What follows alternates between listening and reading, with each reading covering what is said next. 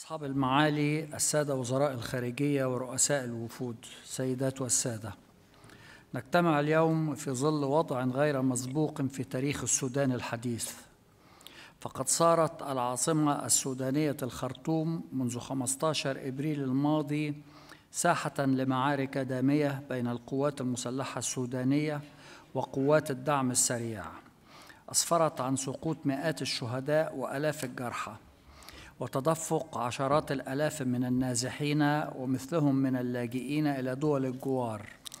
فرارا من جحيم هذه المعارك وبحثا عن غذاء شح وارتفعت أثمانه ودواء مفقود ومستشفيات لم تزل تعمل بالرغم من شبح انهيار النظام الصحي برمته. ثلاثة وعشرون يوما من المعارك الدامية في العاصمة الخرطوم. وأربع سنوات قبلها منذ إبريل عام 2019 من التناحر السياسي الذي حال دون التوصل إلى آليات انتقالية مناسبة متفق عليها تسمح بتحقيق تطلعات الشعب السوداني نحو السلام والتنمية والإزدهار على الرغم من تعدد المساعي المبذولة عربيا وإفريقيا ودوليا لتوفيق وجهات النظر.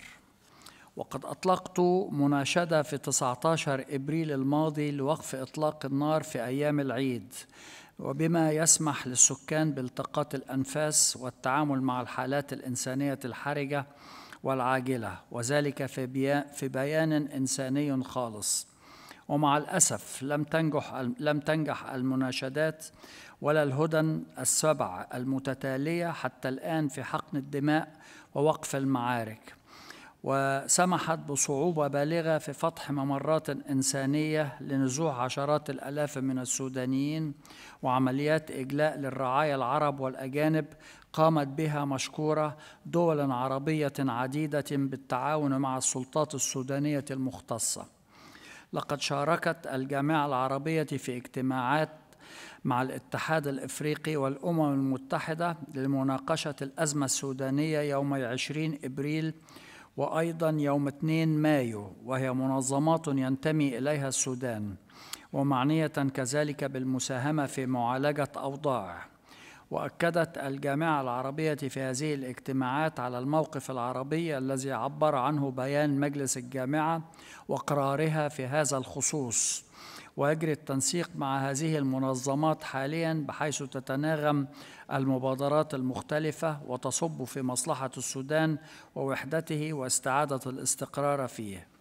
وبالتزامن مع قرار الأمم المتحدة سحب أطقم منظماتها الإنسانية العاملة في السودان عقد وزراء الصحة العرب ووزراء الشؤون الاجتماعية العرب اجتماعين طارئين في الأول من مايو الجاري لتنسيق جهودهم الرامية لمواجهة الوضع الإنساني المتدهور وتمكين الجهات السودانية الوطنية وجمعية الهلال الأحمر السودانية من القيام بمسؤولياتها الصعبة والتنسيق مع الاتحادات الدولية للهلال الأحمر والصليب الأحمر لضمان وصول المساعدات الطبية والغذائية اللازمة.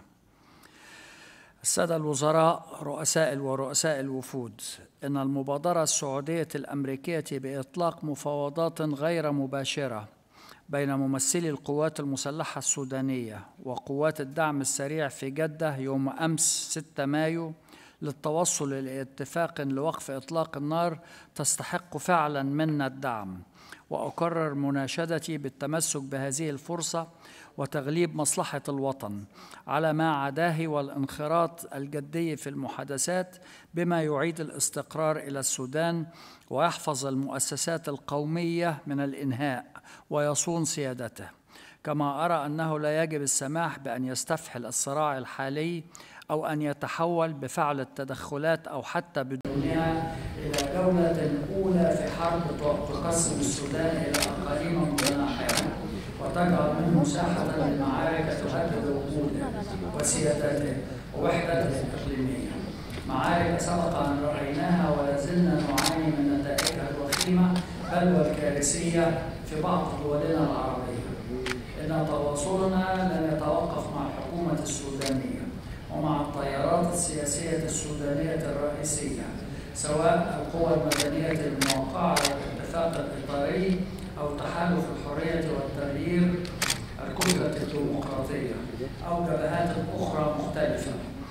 واتفقت المطالب المرفوعة من هذه القوى السياسية باختلافها على دعوة الجامعة التحرك بصورة عاجلة لوقف الاقتتال وتأكيد رفضها للتدخلات الخارجية ودعمها لعملية سياسية شاملة متوافق عليها ودعوتها لتقديم دعم عربي عاجل لمواجهة الكارثة الإنسانية. ومن الجيد أن مشروع القرار المطروح على المجلس قد تضمن كل هذه الأمور. السادة وزراء الخارجية إن السودان اليوم في مفترق طرق وكل ثقة بأن الدول العربية لن تدخر وسعا لمساندته على مواجهة تحدياته الصعبة للعبور نحو مستقبل أفضل يستحقه أهله الكرام ومساعدته. شكرا جزيلا.